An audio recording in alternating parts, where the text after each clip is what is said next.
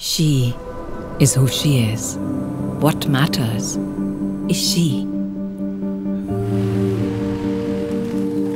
She's always on the move, fearless, free spirited. She is bold.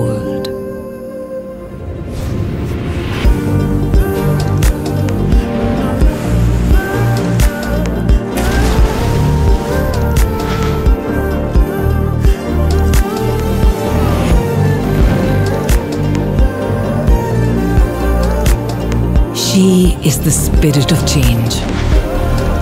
She remains the Taj.